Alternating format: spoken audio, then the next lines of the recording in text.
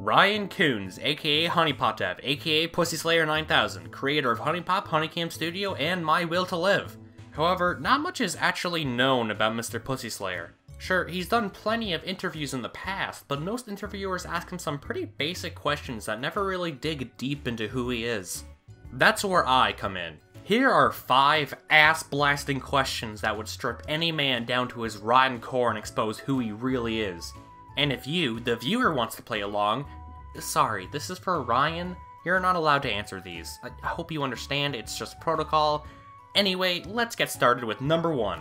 Are traps gay? Pretty self-explanatory yes or no question, so uh, we'll just move on. Number two. If you answered no to the previous question, then A. Who's your favorite trap? Personally, my favorite is Saika Totsuka from Yahari Ore no Szechuan Love Comedy wa Machagaretu, but you can pick whoever you want. Except Saika. He's mine. If you answered yes to the previous question, then B. Please reconsider. Number 3. What are your opinion on reverse traps? Reverse traps are the lesser known opposite of a trap in which a person who looks like a boy is actually a girl. This can be a pretty big turn on for some guys, but the same questions still apply here. Like, is it gay?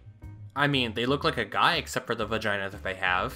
However, if that's gay, then does that mean that regular traps are not gay because they look like a girl except for the penis that they have?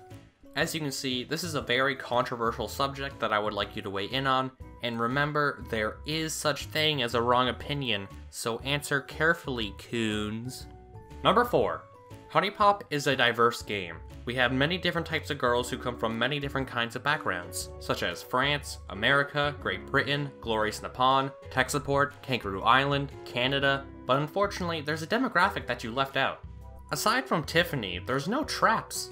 I, for one, would love to see this inclusion because as a 100% straight male, it would be wonderful to see the main character have a huge, throbbing, veiny, erect cock shoved down his mouth pussy. Come on, Koons, it's 2015. Representation matters more than ever. Now, for the fifth and final question, we actually have a special guest to ask their own question for Mr. Koons.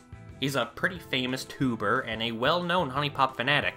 Ladies and gentlemen, put your hands together for the comedy stylings of The April Fool. Hi, hi, it's great to be here, everybody. Glad to be on. Well, it's an honor to have such a prestigious character on our show. Now, before we allow you to ask your question, and we ask this to all of our special guests, who is your favorite and least favorite HuniePop girl? Oh, that's easy. Tiffany's my favorite, and Lola's my least. Really? Yeah, Tiffany's a white, blonde hair, blue eyed girl. I couldn't not pick her. And as for Lola, well, I just can't bring myself to like a Negro. Whoa, April Fool, that was a bit dicey, but you know, okay, we'll continue. Uh, anyway, your question for Mr. Koons.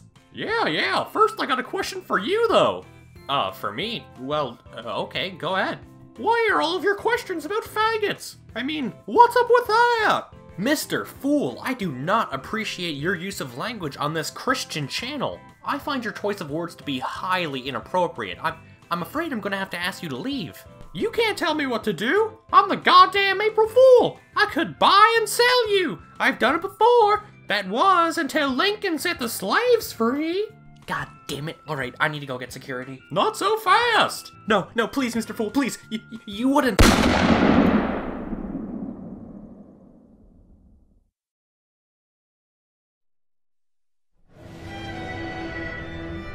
赤いあの人の髪と一緒だ。赤い。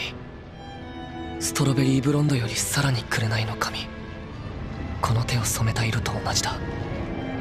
美しい赤い長髪の。そう。あの人の。